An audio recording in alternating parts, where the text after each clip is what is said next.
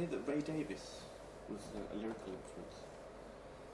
Um, you know what? I, I, I, I can't exactly say he, he was because I didn't uh, particularly own a lot of Kinks albums. You know, I have a couple, but I didn't uh, identify with his lyrics that much, you know, until, you know, maybe recently I've gotten more interested in it.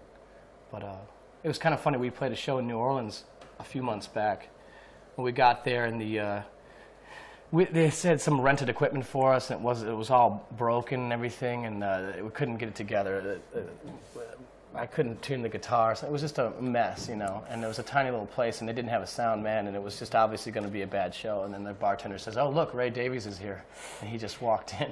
You're like, oh It's no. the worst, you know, the worst time for, for him to walk in, I guess. So it was funny because I don't really pay attention to the crowd very often when we play a show, but we had played a couple songs, and all of a sudden I looked out and I kind of saw Ray Davies standing out there, and for the first time in my life, I couldn't stop looking in that direction the whole show. I don't know why. I just, uh, I don't know. But after it was done, he just went walked away. I didn't I didn't talk to him, but uh, he just gave some sort of thumbs up to us. Enjoyed the show. At least I he's being so. polite. I don't know. And well, in terms of influence, I kind of thought, I mean, Ray Davies, his songs were very kind of storytelling, and then that's the comparison. I think so. Yeah, I think so. Really good at Village Green Preservation Society. That record I really like a lot. Going to move on to the new single, Hotel Yorba. Mm. Um, I heard you telling Zayn earlier you've been banned from the hotel itself, even though you're giving them worldwide fame. Yeah, it's it's pretty. I don't think they're uh, that worried about it. I don't think they did, under, they did really understand that that place. They, it's we kind went. of a vagrant motel.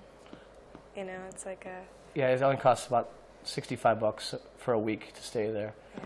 So uh, when we walked in, and we had tried to ask, I think we had met the owner. We were asking just to see what it was about, if we could actually film in there, you know.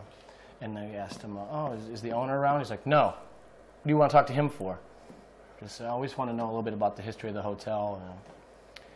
Because on a side note, I, I'd always want to know because when I was a kid, I'd always heard the Beatles had stayed there. It was just my favorite rumor when I was a kid. So, you know, we had heard that, and uh, we just couldn't find it was true. Anyhow, uh, we got in there. We, we had to. We ended up renting a room after like five tries. They would not get us one. Finally, we walked in there and kind of tricked them into getting a room. We went and recorded uh, a couple songs in the room there, uh, and then tried to go film there. It just was a disaster. They just did not understand. They kicked us out. You know, wouldn't let us go back into the room we just rented. It, it turned into a huge fight and uh, she had tried to come after me with a gun or something. She was looking for this gun. We were having a huge argument, and ended up having this hammer and banging it on the window, and chasing me out of there. It's just insane. I couldn't believe it. They're crazy. I mean, the owner should um, bump the prices up because every White Stripes fan coming through town will stay there. now.